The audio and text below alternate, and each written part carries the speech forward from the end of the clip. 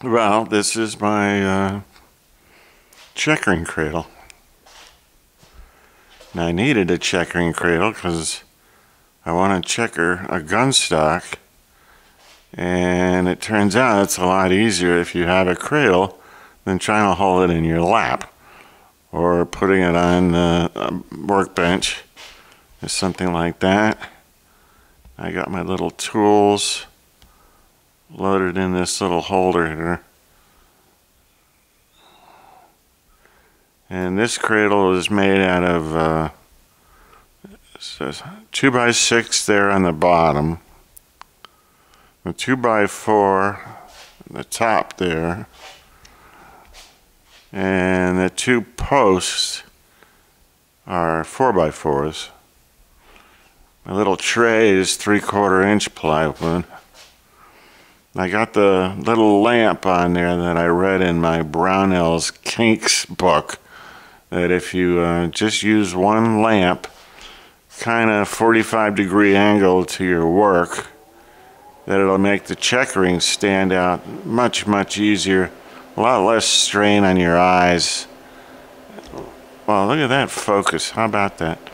I labeled my uh, tools because my eyes are going bad now at uh, my age and it's easier to look on the handle and see what the the little tips you see the little tips there?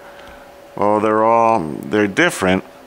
They do different things but instead of trying to figure out what they are and stare at them you just look at the handle so there's two cutters there on that one there's three cutters on that one that one's very hard to use, by the way. There's a vernier. Um, it just cuts a straight line. Uh, this one here is, well, whatever it is, it's one. Yeah, let's go back out here.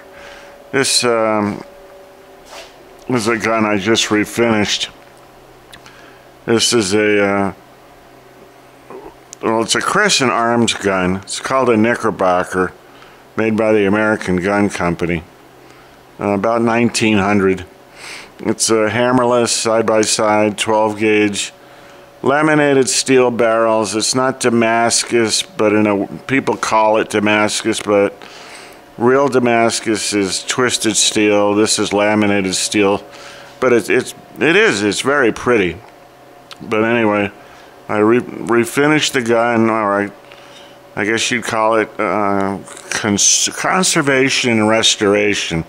So this is more of a restoration and conservation. It's like a pro modified. Um, because these guns really aren't, you know, it's not a Purdey side by side or something like that. So it's a great gun to uh, learn learn some of these things that you're doing. This uh, here's another one. This is the, the exact same model, probably very close to the same year. However, this one has what they call fluid steel barrels. Um, so you can use modern smokeless powder in it. Um, and the barrels aren't in there now because, but this is how the checkering cradle works. You put your uh, piece that you want to checker in between the two uh, posts there and then you can rotate it and do the checkering around it. Now this this stock has no checkering on it and never did because I built this stock from a, a plank, a walnut plank back in 1960 68 or 7, 67 or 68 to replace the broken stock that was on it. And it was so so full of oil and it was just you couldn't do anything with it. So I carved this one out from uh, from scratch basically and uh, put it on there. And the, the stock does have a little bit of grain on it. Um, and then I'd like to refinish refinish the stock and then add the, add the checkering and see how it it rotates around and it can be locked in place with uh, my wing nuts here. This gives you um, an idea of the, the checkering tools I'm using. This is a, a checkering set from Gun Clinic Tools. This is an old set. I've had this for a long time. Uh, and they do, they work very well. And the, um, the cutters are replaceable. This is a more modern one. This is the uh, Dem-Bart gun stock checkering toolkit called a master set. And the cutters in, uh, and these are replaceable as well, um, which is really nice because they're, they're, they're not cheap, but you can, if you buy just the cutter and switch it out with your uh, handle, then it, it's not bad at all. And that's like uh, like these here. Uh, these are the these are these are from the Gun Clinic checkering set. Uh, there it is, and you can. Geez, I can't even see that, and I got my glasses on. Well, anyway, the cutting head there is replaceable, and this is, oh yeah, all right. This this one you actually, this cutter here you use a lot. So it's uh, 60 degree and it cuts one line. So you would do your outline and pretty much the whole pattern with that before you went and finished it with the rest of these tools. So, and then this one here, this did have checkering on it. That's a beautiful piece of walnut there. This did have checkering on it right here. Um, it wasn't it wasn't really you know over the top or anything, but it was just enough to to give the gun a nice purchase when you shot it. Um, and the butt pad is long gone. The Bakelite uh, they made it they were Bakelite kind of material. Um, and good luck finding one of those. You'd have to scour eBay uh, I know everybody says, well, you know, Dixie, not Dixie Gun Works, but uh, the um, the gun parts. I guess it's Gun Parts Incorporated now. Uh, they used to be Numrich Arms. Um, they used to have every part you could ever possibly need, and uh, now, of course, they don't. So I just I made my own and I used a piece of uh, exotic hardwood that kind of looks like uh, you would make a, a custom leather butt pad. It almost looks like leather. Uh, really, really pretty. And I put a, a, brass plate on the bottom. So if you stack it, if you're out shooting skeet or something like that, and you stack the gun, it won't it won't chip out the uh, the back. And where are we here? We'll go the tools I use a lot. I've got my uh, my drill press. It's got the handy uh, the the table on it. That's uh, really really handy to have. Plus, it goes on and comes off easy. Um, then uh, a bandsaw, 18 inch bandsaw, I think. That's that's very handy to have. And this is my not so expensive router table, but it's just expensive enough that it, it gets done when I need to get done. And same thing with the belt grinder, it gets done when I need to get done. and then welding, this is my welding station, and the welding station is here. Um, so that would be the bench for that. Then don't go crazy, all those gas cans get moved if you're going to do any welding but and then my anvil is actually you know the ubiquitous piece of a railroad track. And I haven't even done anything with the the grinder yet to make it look like an anvil. I just bang on it right now and it and it works fine. Um, then we go back around.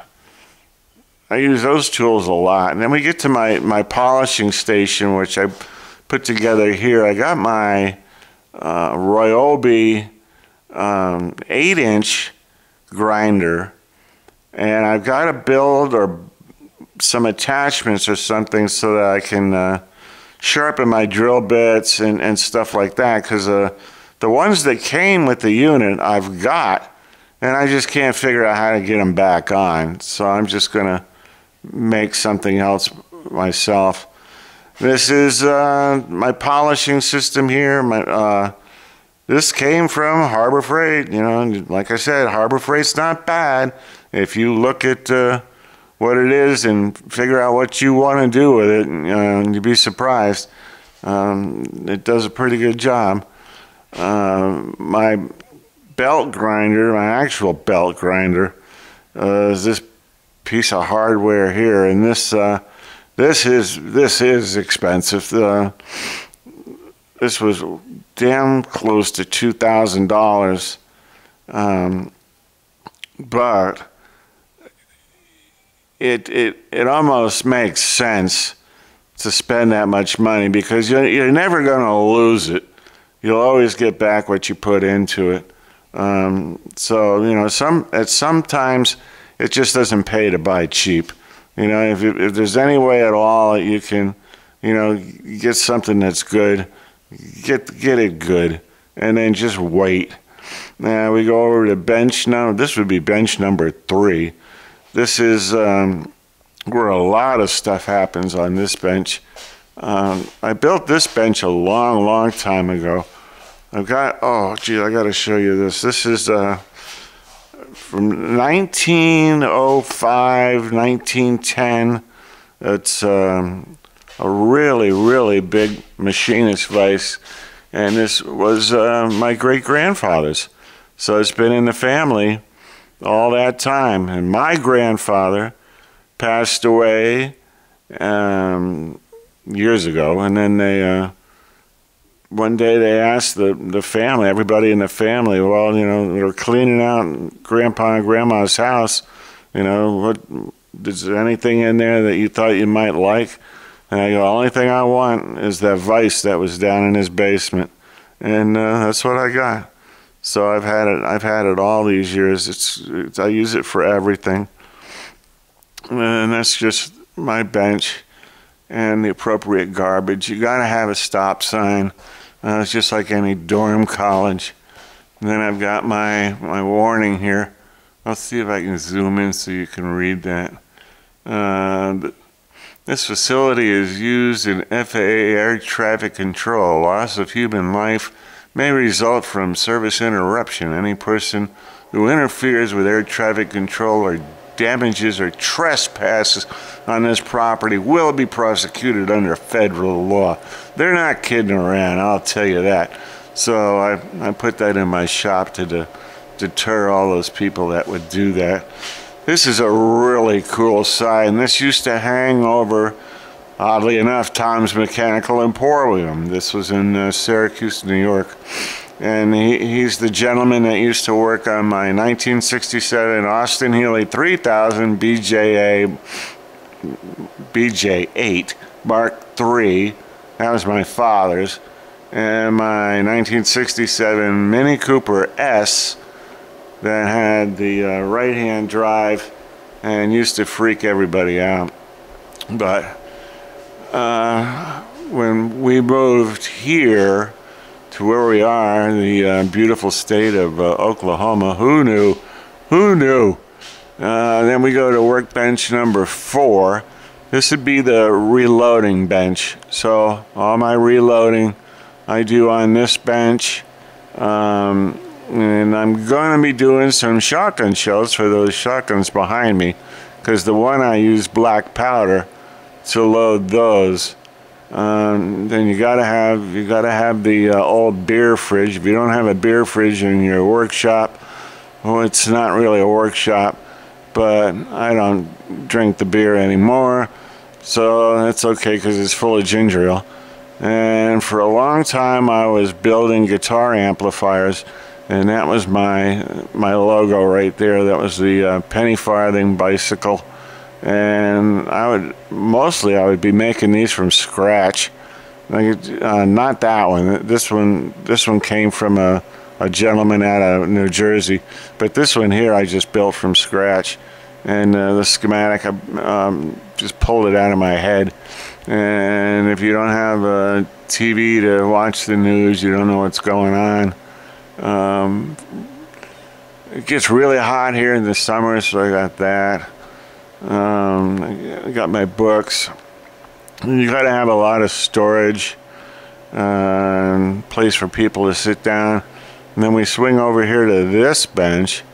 Um, this bench is kind of cool because the bottom of it is this oak chest and it used to be for clothing and stuff like that and this is actually the oak chest that came out of my dorm room at Plattsburgh Air Force Base when I was an air traffic controller in the Air Force so that'd be 1972 um, and now it's a workbench they don't make them like that anymore. That is not a IKEA uh, piece of equipment there. That thing, uh, that thing will last.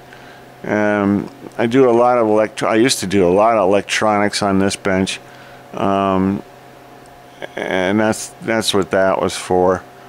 Uh, you can see I got a lot of light in my shop. It's because it's the more light you have, the easier it is to see.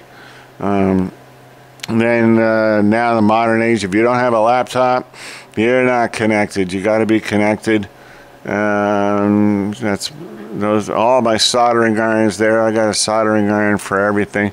This is Noteman. Noteman keeps uh, is the keeper of the jams, and Note Man keeps track of and lords over everything. keeps keeps track of what's going on. I'll give you a shot of Note Man from the side here. Uh, Noteman was created in Hopkinsville, Kentucky around 1972. Uh, one morning, probably 3 in the morning, I was really bored. Um, took all the coat hangers out of the closet and then just started making Note Man. He used to have legs and he stood on top of a uh, wooden cable spool and we spray painted them blue Day-Glo paint and then you would shoot the black light up underneath them and turn out all the lights and you, you can imagine the rest from there. But it was a different time you know so um, this is really where I spend most of my time here. This would just be my my work workstation bench and a lot of the electronic. I built a bunch of amps on this bench um, and then right now, it's, it's whatever whatever I'm into usually gets done on this bench. Uh, and as we move around, I got all my oh, I got to go the other way. All my my storage for these uh, different brands, uh, more storage, more storage, different brands, um, and then more storage, different brands. So there's the old. Uh, Oh, the garage is completely insulated. Uh, walls, roof, everything. So, and then up here in the corner, there's my, my heater. So I've got heat, I've got AC, uh, I've got everything I need. Um, and then I'm getting together my bluing station so I can blue some gun parts. Uh, not, not a big deal, just a little big deal. And then we get back to where we started with the uh, with the checkering cradle. So the checkering cradle is the project. You can put one together very easy. And I didn't use any plans. I didn't draw it out on paper. I just uh, I did use a ruler though, um, just to get an arm's length measurement or figure out. It's it's a lot easier if you use a ruler and don't eyeball it. But I just started sticking stuff together and seeing if it worked. And if it worked, then uh, I made it permanent. Uh, the big rods in it are 5 8 uh, all thread. I got those at Lowe's. I love all thread. You can do all kinds of things with all thread. So what I'm going to do is when I get halfway decent at this checkering thing, uh, I'm going to start checkering this well, actually, we're going to start on this one right here. Let me spin that so we can see it. Yeah, this one, we're going to start on this one. And we'll do right in here, we'll do, uh, put the design up here and then have it come down like this. And the, all of these checkering tools right here are 20 lines per inch, or 22, 22, 22 lines per inch. And all that checkering we're, we're going to do right in here, and then obviously the same on the other side. So when I get doing with uh, get done with that, it's really going to add a nice extra dimension, and I'll keep you informed of how I make out with that, the trials and tribulations. So from uh, sunny Oklahoma here, um, that'll be it, and I'll see you all soon. Okay. Thank you.